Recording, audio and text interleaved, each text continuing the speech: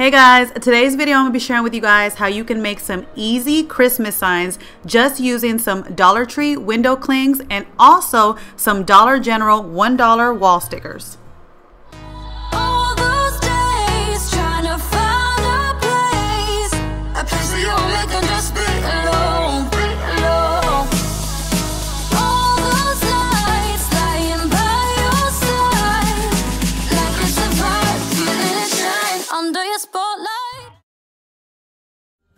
So for the first two signs, I'm going to be using these little Christmas wood signs that they have right now at Dollar Tree. And what I like about these wood signs is that they look like a farmhouse wood sign because they have like these pieces of wood put together and they have two different versions of them. They have the first one that I share with you guys has like um, four pieces of boards put together and it's like skinnier boards and then the second one has like three boards put together and they're fatter boards so depending on which the you know like the look that you're going for they have two different options for us so I love that because some things that you're doing just look better with the skinnier boards and some look better with the fat boards so they have the option for you um, depending on what look you're going for so the first thing I'm going to do is I'm going to cover up the holes that where the ribbons was at. And um, you can do this with wood filler, but me guys, I'm very lazy and I want to, you know, just get this DIY done. So I just use my hot glue gun and I just fill in the hole with the hot glue gun and then I just kind of smooth it over with my finger. And that seems to be the trick for me. But again, you can use wood filler if you like.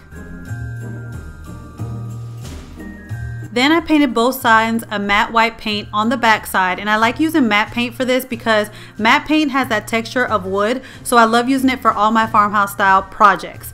Now the color that I'm going to be using on top of it is a light gray. It's um, Dolphin Gray from Apple Barrel. And if you guys know me, I love using whites and light grays for all of my kind of decor pieces. So those are two colors that I'm going for. To get that dry brushing effect, I'm going to use this brush that you can find in the auto section at Dollar Tree. They come two to a pack. And because of the bristles on this brush and the fact that you're not going to put that much paint on the brush, that's how you get your dry brushing effect and wood effect looking on your signs.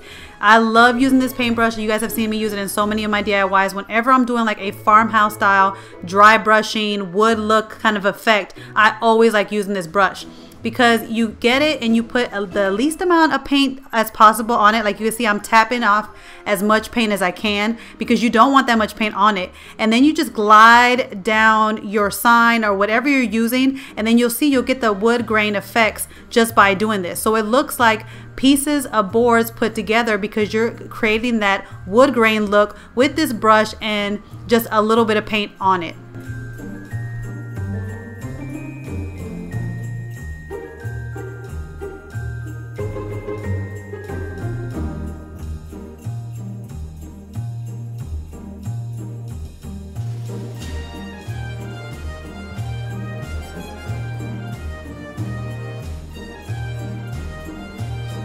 Now it's time to create some lines so it looks like the separate board pieces put together. And the way I like to do it is just by using a pencil. Because I use those gray colors for my color tones, I can use a pencil and it mimics the color of gray paint. Now if you're doing this like with brown and beiges, I wouldn't recommend it. I would actually recommend you using like um, paint over it. You could start with the pencil and then you can just do some paint over it with the color tones you're going with. But because the pencil does have that gray tone to it, I can just do this with my pencil and not worry about going over it with um, paint later on. And what I do is I just use the sideboards as a guide so I know where to make the lines at.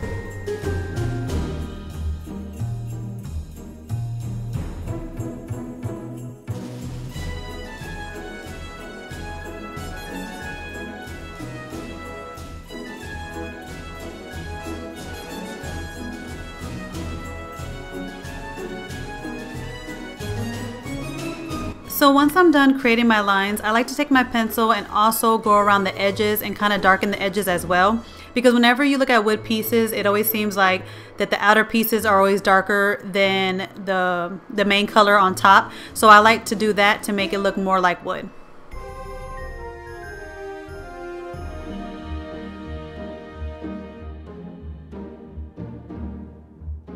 So here's how the signs look once I was done painting them. And the stickers that I'm gonna be using for these are the ones that I found at Dollar General for just a dollar. I found this cute little farm Christmas tree sign that I love the colors that they had. It had like red and that teal blue that I love so much. And this one I'm gonna actually use for the one that comes in like four different pieces.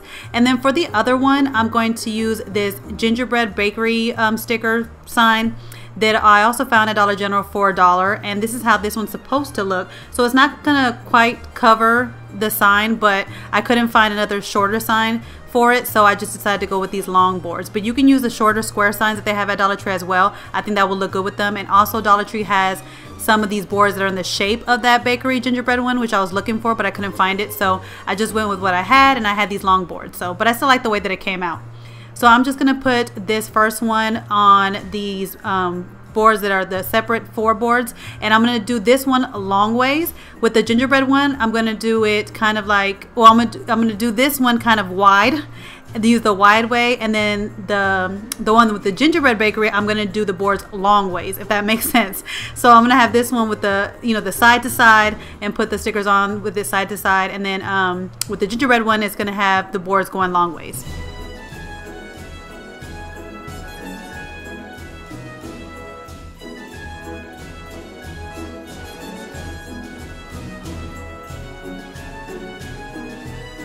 So this is how my little Christmas tree farm sign came out and I just love this sign because not only does it have a farmhouse feel which you guys know I love but it has all my favorite colors in it as well. If you guys have been following me for a while you guys know that my favorite color is light blue or that teal blue and I also love to decorate my home with light grays and whites. So the fact that this had all my favorite colors plus the red color of Christmas and they pair so well together was perfect and I feel like this is a great color palette that I'm going to use this year to decorate decorate my home with and the fact that I saw it look so great with this sign just gave me the ideas of what to do with my home this year. Now this sign had another sticker part that said free cider and hot cocoa and I didn't feel like it went well with this sign but stay tuned and uh, next video you're gonna see what I do with it. I'm gonna use it for another DIY so stay tuned. I got some more Christmas DIY videos coming to you guys after this video. So for the next sign, I don't want to do it long ways. I feel like that the gingerbread bakery sign looks better long ways. It's just the way that it's positioned. It just looks better long ways. And again, it's not going to fit perfectly on here, but that's fine. Um, I said I was trying to look for another board that would look a little bit better for this, but they didn't have it in Dollar Tree. The one that I was looking for that kind of had the out the borders that would fit this perfectly but I used what I had and I actually like the way that it came out so I can't wait to use this in my kitchen I'm kind of making a gingerbread corner so stay tuned for that because I have another DIY coming with like a gingerbread theme so just stay tuned I have more DIYs coming for you guys um, after this video and, and later on this week so for the next two signs, I'm going to be using these little decor boxes that Dollar Tree has all the time. This one I got during Mother's Day a while back. I got a bunch of them to make um, some different DIYs. And then this one was a laundry sign um, that I got. I can't remember when, but I'm going to use the inside of this one. Um, the other one has like some boards in the middle of it so it wouldn't be able to I can't use the inside of it because you can see like the little boards in the corner but this wash sign did not have it on the flip side so that's why I'm going to use it and kind of make a shadow box so the first thing I'm to do is I'm to take off this piece that came on top of it and as you can see it was the exact same wording. I don't know why they did that, but I'm going to save that later on for some laundry um, decor DIYs that I plan to do once I redo my laundry um, room. So stay tuned for that. So I'm going to save that for that. But I painted this shadow box and these boxes that same matte white like I did all the other ones. And then I'm taking the stickers that I found at um, Dollar Tree and I'm going to be using this sticker that says the Farm Fresh Christmas tree sign and the little arrow to go in this little box and create like a little shadow box decor.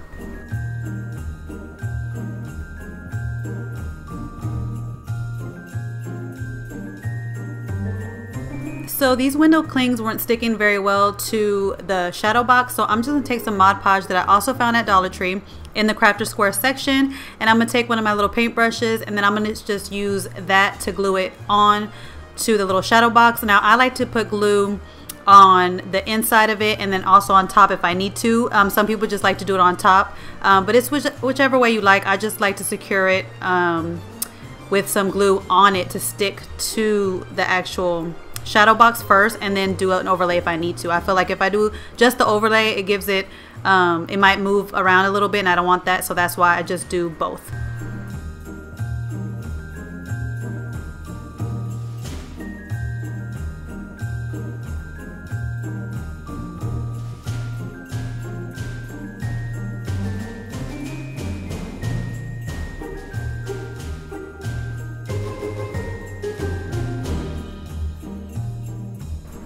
Now, what is a Christmas tree farm without Christmas trees? So I'm using these little mini trees that they have at Dollar Tree right now to add to the bottom of the shadow box. And I wanted to take one out first and see how tall the trees were before I actually glued down the arrow because I kind of wanted to make everything kind of proportionate. So I wanted to see how further down I had to bring down the arrow um, before I glued it down. So that's what I'm doing right now. And then I'm going to Mod Podge the arrow down and then use the Mod Podge for the trees as well.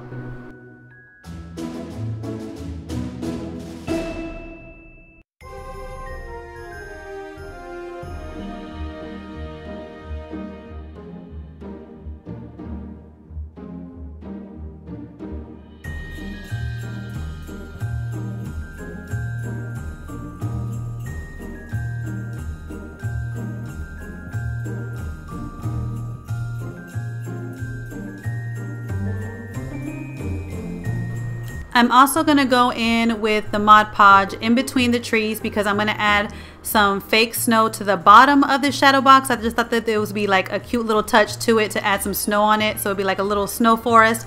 And the snow that I'm going to be using is that fake snow that they have right now at Dollar Tree. But if you can't find this, you can also use some Epsom salt and some glitter. It will give the same effect as well. So don't feel the need that you have to go find this at Dollar Tree. If you can't find it, just get some Epsom salt or some regular salt, add some glitter, and it'll give the same effect.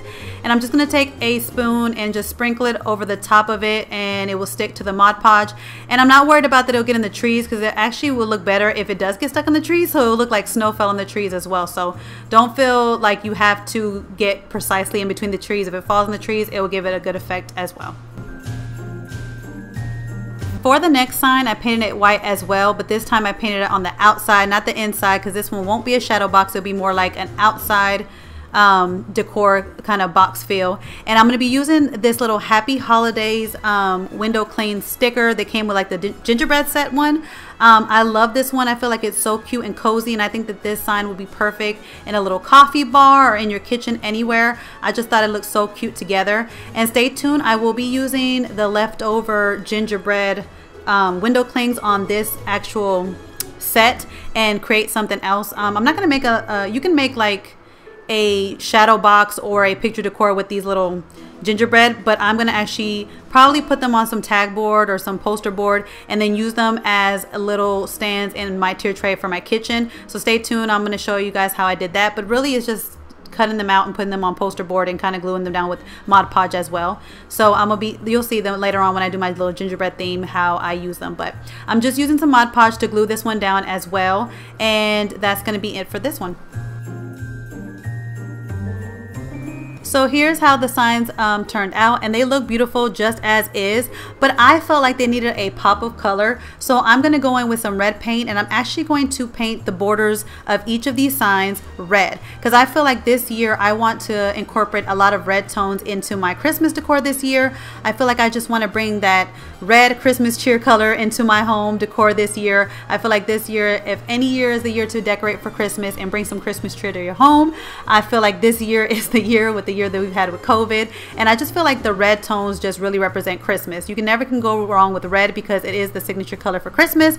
So I wanted to make um, as many DIYs as I can with red tones. And as you can see, I feel like the red just makes this um, decor piece pop. Like the border of red just makes it pop. And I feel like it brings out the letters and Christmas tree um, with this red border. But again, you can leave it as is. You can leave it all white if you want to. I know a lot of people are going with a lot of the neutral tones this year with a modern look. And actually my next video that I'm going to share with you guys, my next Christmas Dollar Tree DIY video is a modern twist to it. I'm going to be sharing with you guys some black and white Christmas decor and have more of a modern um, decor feel for you guys because I know a lot of people are getting into decorating with just blacks and whites this year.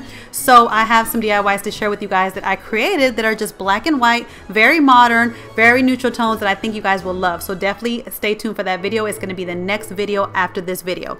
But I hope you guys enjoyed this video today. I hope I gave you guys some ideas and some inspiration to create some signs of your own at home. It really does not take a lot of time and a really, um, you know, a lot of skill to create these beautiful signs at on your own and with these stickers they make it so easy to do I love the stickers and the wall stickers that they come up with at the Dollar Tree and Dollar General because it makes crafting um, a breeze and DIY in a breeze and able to recreate like the high expensive decor that we see in the other stores for half the price.